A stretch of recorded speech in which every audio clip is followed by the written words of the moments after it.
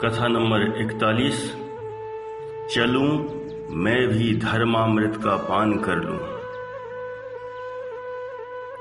धन धान्य एवं स्वर्ण आदि से पूर्ण, इस मगध देश में पूर्व काल में एक वर्धमान नाम का नगर था, जो वन उपवन, कोट एवं खाइयों से युक्त और अत्यंत शोभनीय था। उस नगर में अनेकों ब्राह्मण यद्यपि वेदों के ज्ञाता थे, तथापि भयंकर अज्ञानतावश वे पुण्य प्राप्ति के नाम पर यज्ञ में पशु आदि की बलि चढ़ाते थे। इसी नगर में ऐसा ही एक आर्य वसु नाम का ब्राह्मण भी था। वह भी कर्म कांड में प्रवीण था। उसकी सोम शर्मा नाम की पत्नी थी, जो सीता के समान सुशील एवं पतिव्रता थी। उसके भावदेव और भावदेव नाम के दो पुत्र थे, जो चंद्र सूर्य के समान शोभते थे।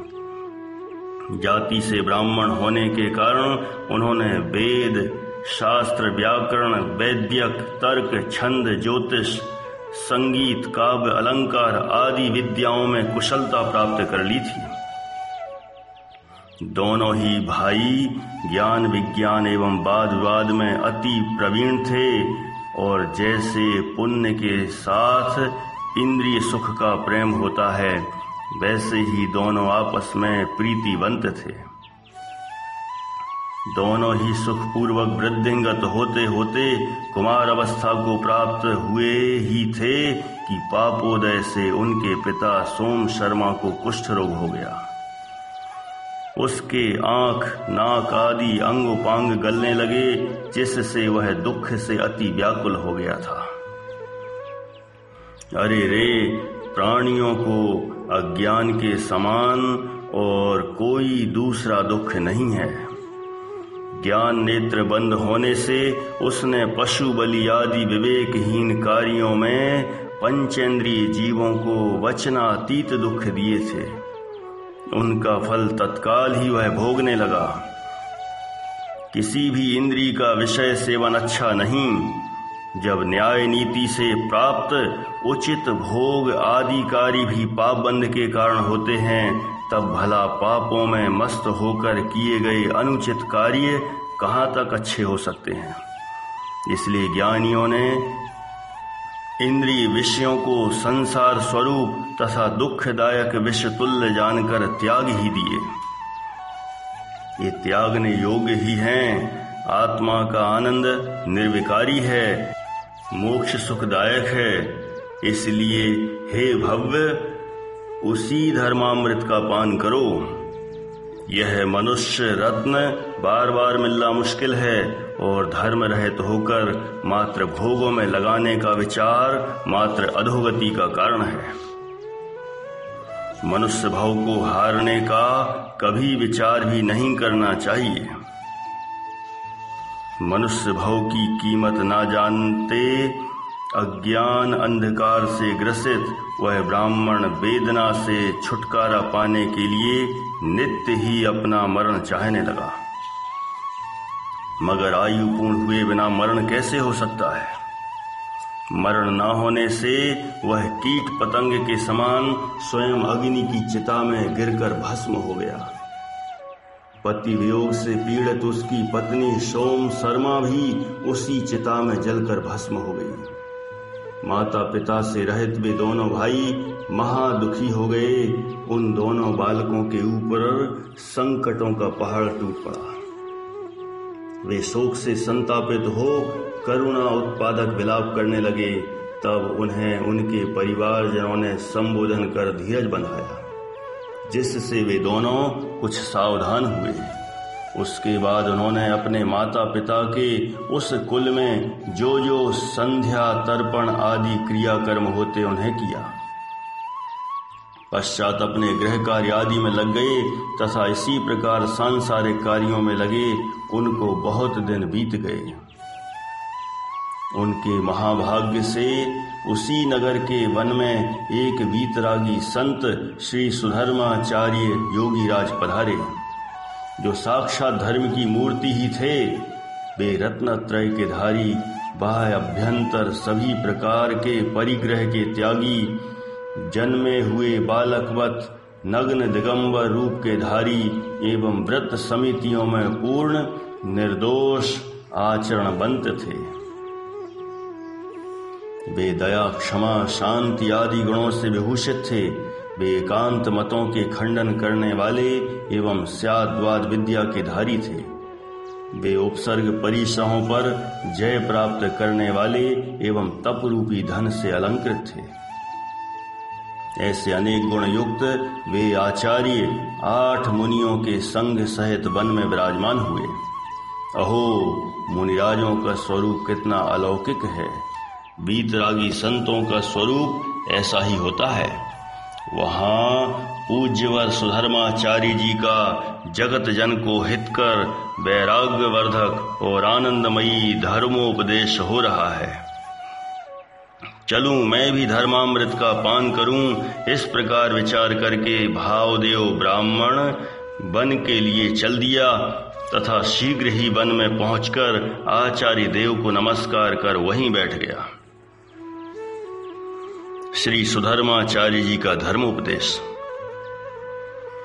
हे भव्य जीवो, इस संसार में सभी प्राणी धर्म से अनभिज्ञ होने से दुखी हैं। चारों गतियों में प्रायः सभी जीव आत्माराधना से विमुख होकर, मोह, राग, द्वेष में कुशलता के कारण दारुण दुख से दुखी हैं। संयोगों की अनुकूलता सुख का कारण नहीं और संयोगों का वियोग दुख का कारण नहीं है। आत्मा में शरीर, मन, वाणी और इंद्रियाँ नहीं हैं, भोग और उपभोग भी नहीं है। शरीर आदि स्वयं सुख से रहते हैं। उनमें सुख की कल्पना से सुखमयी निजात्मा को भूलकर इंद्रियों और उनके विषयों को इष्ट अनिष्ट मानकर अनादि से यह आत्मा सुख से बहुत दूर हो वर्त रहा है। हे आत्मन, तुम स्वयं ज्ञान आनंदमयी वस्तु हो, निजात्मा को शाश्वत सुखमयी वस्तु मानो और अतिद्रिय आनंद का भोग करो। इन अनित्य वस्तुओं में नित्य की कल्पना से दुर्गति के कारणभूत, मिथ्यात्वादी भावों में सुगति के भ्रम से, हे आत्मन तुम झपट्टे क्यों मार रहे हो? हे जीव, तुम सुखाभासों में ही भ्रम से सुख मान रहे हो, परंतु तेरा सच्चा सुख तो तेरे में ही है। और निज के आश्रय से उत्पन्न होने वाला रत्नत्र ही धर्म है, इसलिए अपनी आराधना कर। अपनी प्रभुता को देख, उसका विश्वास करके उसमें ही लीन हो जा। इत्यादि अनेक प्रकार से आचार्य देव से ज्ञानामृत का पान कर भाव देव प्रतिबोध को प्राप्त हुआ। उसे अब शीघ्र ही इस परम पवित्र धर्म को धारण करने की भावना जाग उठी। आचार्य वर का भव ताप नाशक और अनंत सुखदायक उपदेश श्रवण कर भावदेव ब्राह्मण का हृदय भव और भव के भावों से काँप उठा। उसके हृदय में संसार देह भोगों के प्रति उदासीनता छा गई। मन मयूर तो वैराग्य रस में हिलोरें लेने लगा। अब उसे एक क्षण भी इस संसार में नहीं रुचता था। वह अविलंब श्री सुधर्माचार्य गुरुवर के निकट जाकर विनय से हाथ जोड़कर प्रार्थना करने लगा। हे गुरुवर, मुझे परम आनंददायिनी भगवती जिन दीक्षा देकर अनुग्रहित कीजिए। हे नाथ, मैं भव समुद्र में डूब रहा हूँ। रत्नत्रय का दान देकर आप मेरी रक्षा कीजिए। अब मुझे मोक्ष का आनंदमयी अविनाशी सुख चाहिए। इन सुखाभासों में कभी सच्चे सुख की परछाई भी मुझे नहीं मिली। इसलिए हे प्रभु, मैं सर्व परिग्रह एवं सर्व सावध का त्याग करके आकिंचन्यत्व प्राप्त करना चाहता हूँ। इसमें ही मुझे सच्चा सुख भाषित हो रहा है।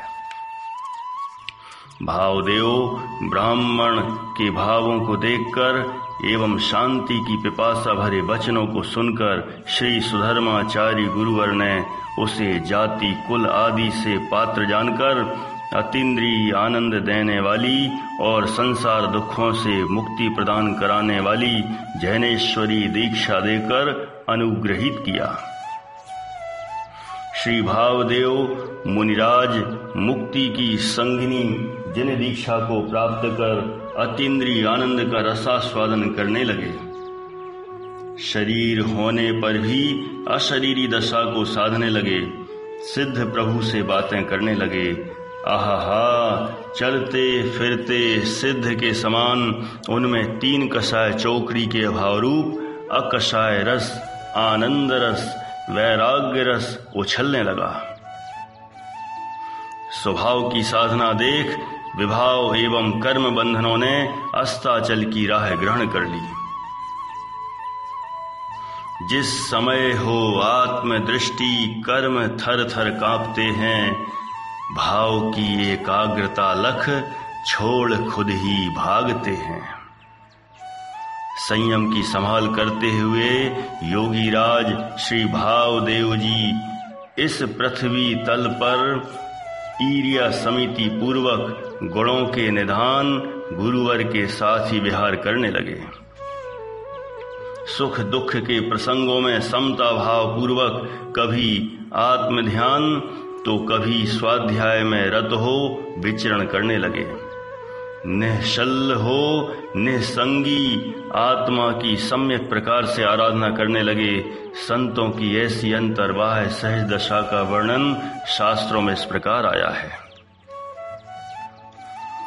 विषय सुख विरक्ता, शुद्ध तत्वानुरक्ता, तपसी निरति चित्ता शास्त्र संघात मत्ता गुणमणि गण युक्ता सर्व संकल्प मुक्ता कथमृत बधूटी, वल्लभानास्युरेते। जो विषय सुख से विरक्त हैं, शुद्ध तत्व में अनुरक्त हैं, तप में लीन जिनका चित्त है, शास्त्र समूह में जो मत हैं गुण रूपी मणियों के समुदाय से युक्त हैं और सर्व संकल्पों से मुक्त हैं। वे मुक्ति सुंदरी के वल्लभ क्यों न होंगे? अवश्य ही होंगे। गुण निधि गुरुवर के उपदेश से निज परम ब्रह्म भगवान आत्मा को देखकर भावदेव मुनिराज को अंदर में ध्रुव धाम ध्येय की धुन लग गई।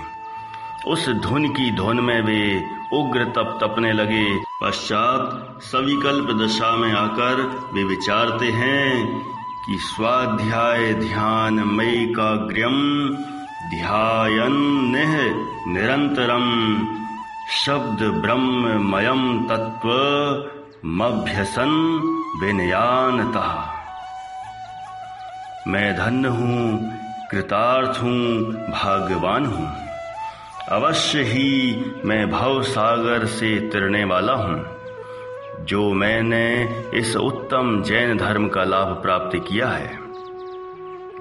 अनेक वन, उपवन, पर्वतों में संयम की साधना एवं धर्मामृत की वर्षा करते हुए श्री सुधर्माचार्य जी संघ सहित विहार करते करते कुछ समय बाद वर्धमानपुर श्री भावदेव मुनिराज के नगर में पुनः पधारे। भवि भागन वच जोगे वसाए, तुम धुनि वे सुनि विभ्रम नसाए। को चरितार्थ करते हुए स्वपर के हित में तत्पर, शांत प्रशांत रस में तल्लीन भाव देव मुनिराज को वहाँ अपने गृहस्थ दशा के छोटे वाही, भावदेव को संबोधित कर कल्याण मार्ग में लगाने का विचार आया। भावदेव ब्राह्मण उस नगर का प्रसिद्ध ख्याति प्राप्त व्यक्ति था। परंतु विषयों की आंधी उस पर अपना रंग जमाए हुए थी। लेकिन हठग्राही एकांत मतों के शास्त्रों में पारंगत, आत्महितकारी यथार्थ बोध से विमुख भावदेव की भव्यता का पाक अर्थात यथार्थ बोध प्राप्ति की काल लब्धि भी अब अति ही निकट आ गई थी। नगर के वन में श्री सुधर्माचार्य संग सहित पधारे हैं। यह समाचार वायु वेग के समान सारी वर्धमानपुरी में फैल गया। इसलिए चारों ओर से नर नारियों का समुदाय मुनिवरों के दर्शनार्थ उमड़ पड़ा। भावदेव को भी यह शुभ समाचार ज्ञात हुआ कि मुनिवर वृंदों के संग में मेरे बड़े भ्राता भी श्री भावदेव मुनिराज पधारे हुए हैं।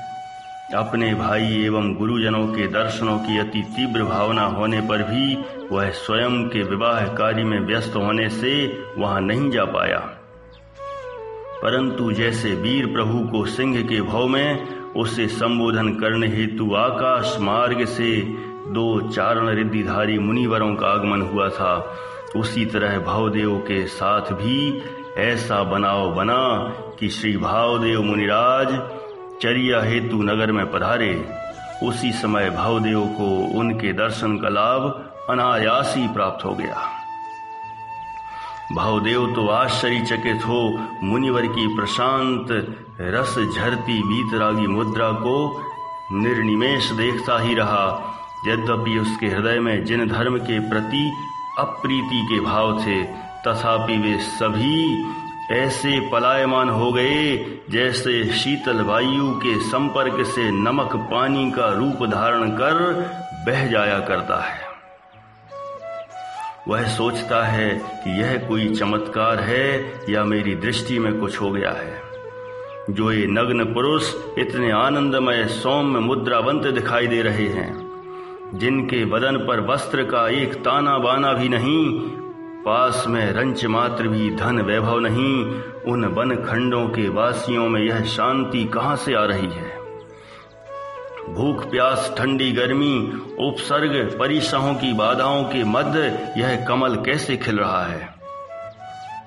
पंच इंद्रियों के भोग उपभोगों के साधनों के अभाव में ये सुख की अनुभूति कैसी? व्रत उपवास, नीरस आहार आदि से इस बदन में कुंदन समान चमक कैसे आई? इत्यादि अनेक प्रकार के विचारों से ग्रसित मन को उसने सत्यता की खोज के लिए बाध्य कर ही दिया। सत्य के उस खोजी को अनेक प्रकार की ऊहा पोह के बाद सत्यता का रहस्य हाथ लग ही गया।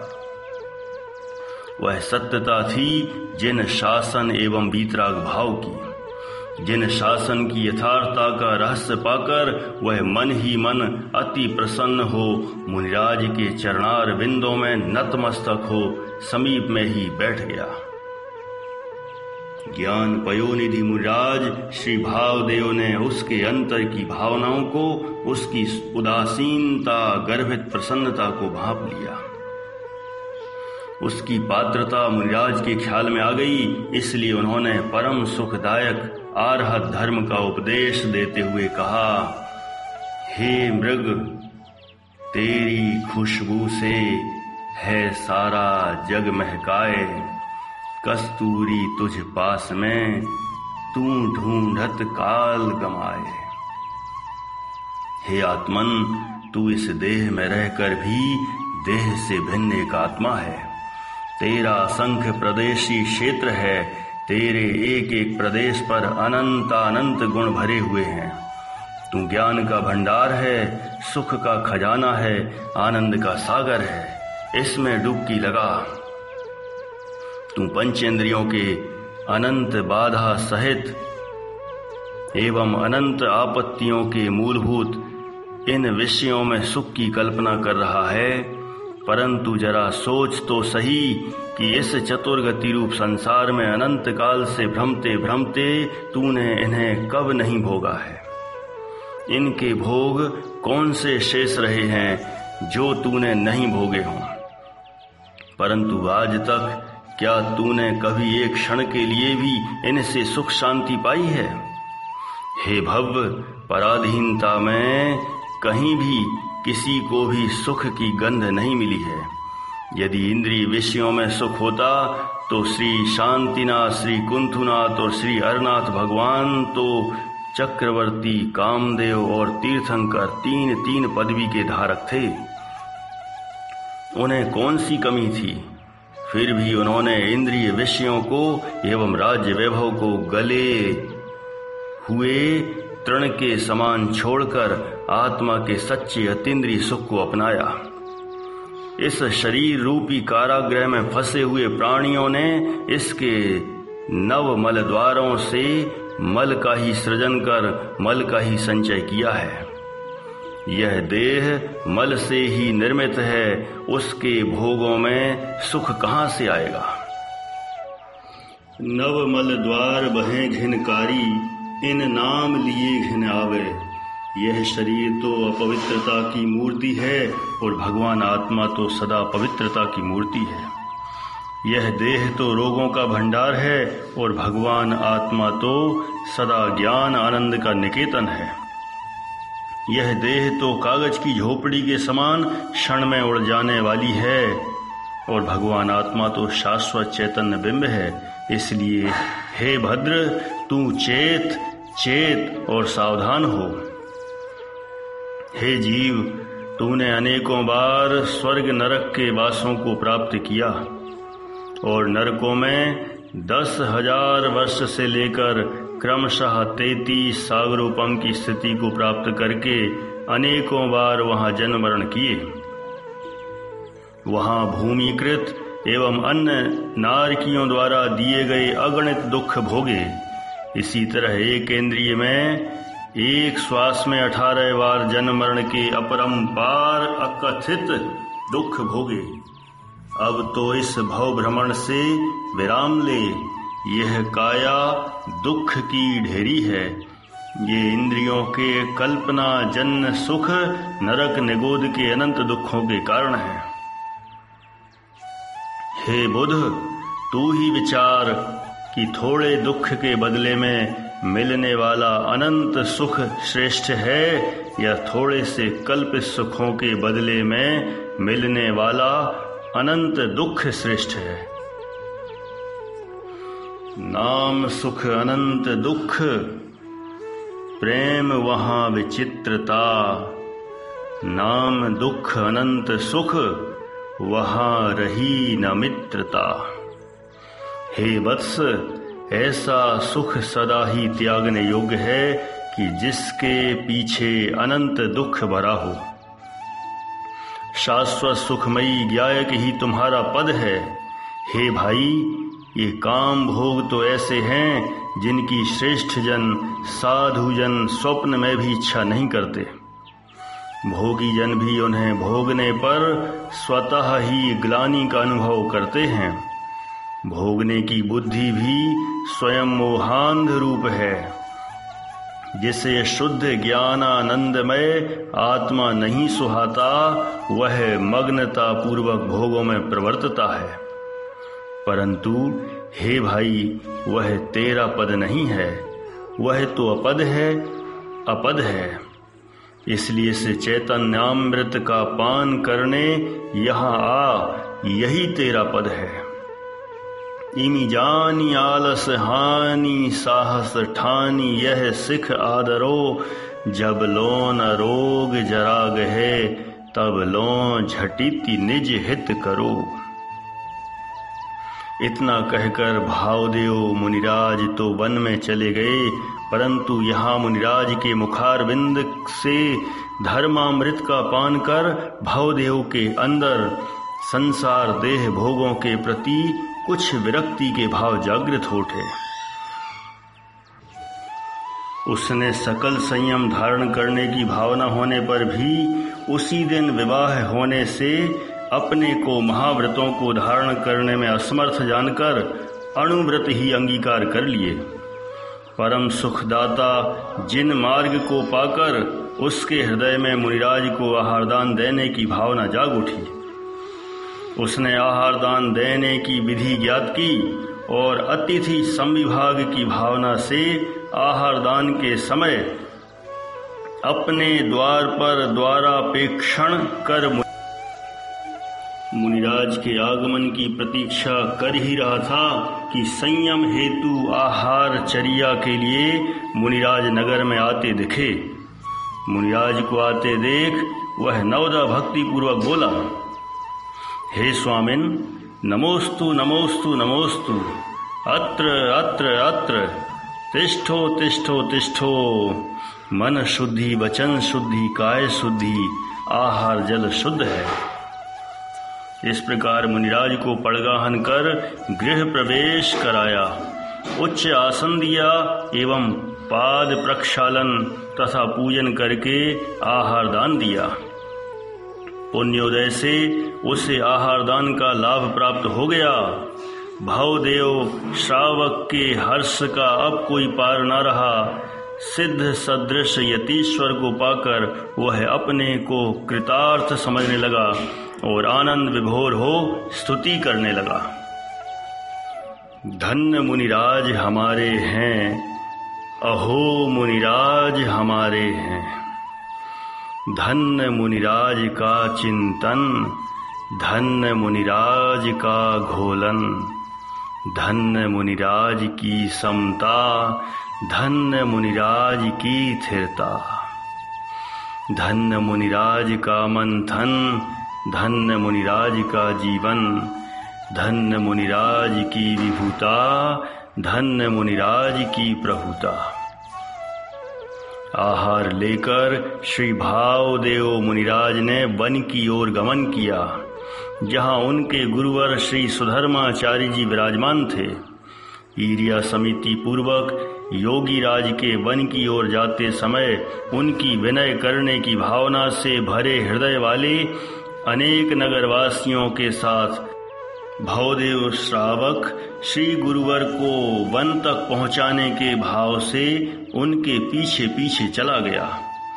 कुछ व्यक्ति तो थोड़ी दूर जाकर मुनिराज को नमस्कार कर वापस अपने अपने घर को लौटाए मगर भावदेव, यह सोचकर साथ ही चलता रहा कि मुनिराज आज्ञा देंगे, तभी मैं आऊँगा। मुनिराज तो कुछ भी बोले बिना आनंद की धुन में झूलते झूलते आगे बढ़ते ही जा रहे थे। भावदेव सोचने लगे, अब हम नगर से बहुत दूर आ गए हैं। इसलिए भाई को बचपन के खेलने कूदने के स्थानों को याद दिलाऊं। शायद इससे वे मुझे वापस लौटने की आज्ञा दे देंगे। भावदेव बोला, हे प्रभु, हम दोनों बचपन में यहाँ क्रीड़ा करने आया करते थे। यह क्रीड़ा स्थल अपने नगर से कितनी दूर है? यह उद्यान भी कितनी दूर है, जिसमें हम गेंद खेला करते थे? यहाँ अपने नगर का कमलों से सुशोभित सरोवर है, जहाँ हम स्नान किया करते थे। यहाँ हम दोनों मोर की ध्वनि सुनने बैठा करते थे। इत्यादि अनेक प्रसंगों की याद दिलाते हुए वह चल तो रहा था मुनिराज के साथ, मगर अपने हाथ में बंधी कंकड़ की गांठ को देख देख कर उसका मन अंदर ही अंदर आकुलित हो रहा था। उसके पैर मूर्छित मनुष्य की तरह लड़खड़ाते हुए पड़ रहे थे। उसके नेत्रों में पत्नी की ही छवि दिख रही थी और नववधु नाग वसु की याद में उसका मुख कमल भी मुरझाया जैसा हो गया था। दूसरी ओर उसके मन में अनंत सुखमय वीतरागी संतों का मार्ग भी तो भा ही रहा था। उसका मन बारंबार इंद्रिय सुख से विलक्षण अतिद्रिय सुख का प्रचर स्वसंवेदन करने के लिए प्रेरित तो हो रहा था। एक ओर सांसारिक दुखों की भयंकर गहरी खाई तो दूसरी ओर सादी अनंत काल के लिए आत्मिक आनंद दिख रहा था। अरे, किसे अपनाऊं, किसे ना अपनाऊं, मैं तो सुख का मार्ग ही अपनाऊँगा। इस प्रकार विचार मग्न भवदेव दुविधा में झूल रहा था। अरे रे, वह नाग बसु क्या सोचेगी? उसके ऊपर क्या बीत रही होगी? क्या एक निरपराधी के साथ ऐसा करना अनुचित नहीं होगा? क्या मैं पामर नहीं माना जाऊँगा? क्या मैं लोक में हँसी का पात्र नहीं होऊँगा? नहीं नहीं, लोक संज्ञा से लोकाग्र में नहीं जाया जा सकता। एक बार पत्नी और परिवारजन भले ही दुखी हो लें, समाज कुछ भी कहे, मगर समझदारों का विवेक तो हमेशा हित गवेषणा में तत्पर रहता है। मैं तो जैनेश्वरी दीक्षा ही अंगीकार करूँगा। इस प्रकार के द्वंद्वों में झूलता हुआ भवदेव मुनिराज के साथ पूज्य गुरुवर श्री सुधर्माचारी के निकट पहुँच गया। गुरुराज को नमस्कार कर वहीं दोनों जन विनय पूर्वक बैठ गए। संघस्थ मुनिवर वृंदों ने श्री भाव देव मुनिराज को कहा, हे महाभाग, तुम धन्य हो। जो इस निकट भव्य आत्मा को यहाँ इस समय लेकर आए हो। आप दोनों मोक्षगामी आत्मा हो। आप दोनों के कंधों पर ही धर्म का स्यंदन अर्थात रथ चलेगा। वन में विराजमान मोक्ष मंडली एवं वहाँ के शांत वातावरण को देख भवदेव मन ही मन विचारने लगा, मैं परम पवित्र इस संयम को धारण करूँ या पुनः घर जाकर नववधु को संबोध कर वापस आकर जिन दीक्षा लूँ। संशय के हिंडोले में झूलता हुआ भावदेव का मन एक क्षण भी स्थिर न रह सका। वह विचारता है, अभी मेरे मन में संशय है, अतः मैं दिगंबर वेश कैसे धर सकूँगा? और मेरा मन भी काम रूपी सर्प से डसा हुआ है। मेरे जैसा दीन पुरुष इस महान पद को कैसे धारण कर सकेगा? लेकिन यदि मैं गुरुवाक्य को शरोधारी ना करूँ तो मेरे बड़े भ्राता को बहुत ही ठेस पहुंचेगी। इस तरह उसने अनेक प्रकार के विकल्प जालों में फंसे हुए अपने मन को कुछ स्थिर करके सोचा तो अंत तो गत्वा उसे परम सुखदायिनी, आनंद प्रदायिनी जैनेश्वरी दीक्षा ही श्रेष्ठ भाषित हुई।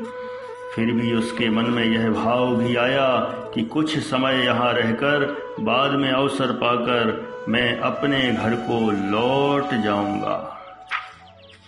पुनः उसका मन पलटा। अरे, मुझे ऐसा करना योग्य नहीं। मैं अभी ही जैनेश्वरी दीक्षा अंगीकार करूँगा। ऐसा दृढ़ निर्णय करके भावदेव गुरु वर्य श्री सुधर्माचारी के चरणों में हाथ जोड़कर बारंबार नमस्कार करता हुआ प्रार्थना करने लगा। हे स्वामिन, मैंने इस संसार में अनंत दुखों से दुखी होकर भ्रमते हुए आज ज्ञान नेत्र प्रदान करने वाले तथा संसार से उद्धार करने वाले आपके चरणों की शरण पाई है। इसलिए हे नाथ, मुझे जैनेश्वरी दीक्षा प्रदान कर अनुग्रहित कीजिए। मैं अब इन सांसारिक दुखों से छूटना चाहता हूँ। श्री सुधर्माचार्य ने पारमेश्वरी जन दीक्षा के अभिलाषी, वर्तमान में उदासीनता युक्त भावदेव को श्री गुरु ने अरहंत धर्म की यथोक्त विधि पूर्वक जन दीक्षा देकर अनुग्रहित किया। भावदेव ने भी पंच परमेष्ठियों एवं संपूर्ण संघ तथा श्रोता जनों की साक्षी पूर्वक अंतरंग बहिरंग 24 प्रकार के परिग्रहों का त्याग कर केश लॉन्च करके निर्ग्रंथ दीक्षा धारण कर ली। अपने दीक्षा गुरु पूज्य श्री सुधर्माचारी के साथ अनेक वन उपवन पर्वतों आदि में विहार करते हुए ज्ञान, ध्यान, अध्ययन आदि के साथ संयम की आराधना करने लगे। हे प्रभु, ऐसे भवदेव, भावदेव और उनके गुरु श्री सुधर्माचार्य सभी को हमारा बारंबार अगणित नमन हो। हम भी उनके मार्ग पर चलें और उन जैसा बन जावें ऐसी भावना के साथ विराम।